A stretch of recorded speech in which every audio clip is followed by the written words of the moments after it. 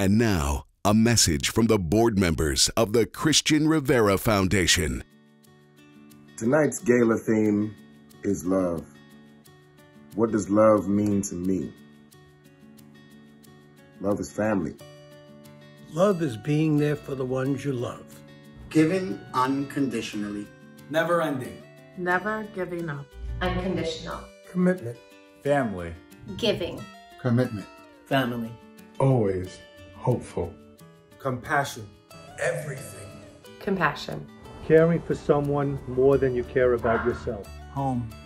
So, what love means to me is that we can all get along, is that we can all forgive, is that we can all grow together, that we can all look out for each other, all in the presence of love. You just heard what love means to each of us. What has love done for you in your life? It's the fuel that moves us each day and makes incredible things happen. Every single person in this room can do something to show a DIPG child that they are loved and they can make it through this, that they can fight. How many times in your life has love given you the strength to move forward? Well, we're the ones who have the power to give a child options, hope, and a chance at a future. Can you choose love tonight? And make a donation to save a child's life.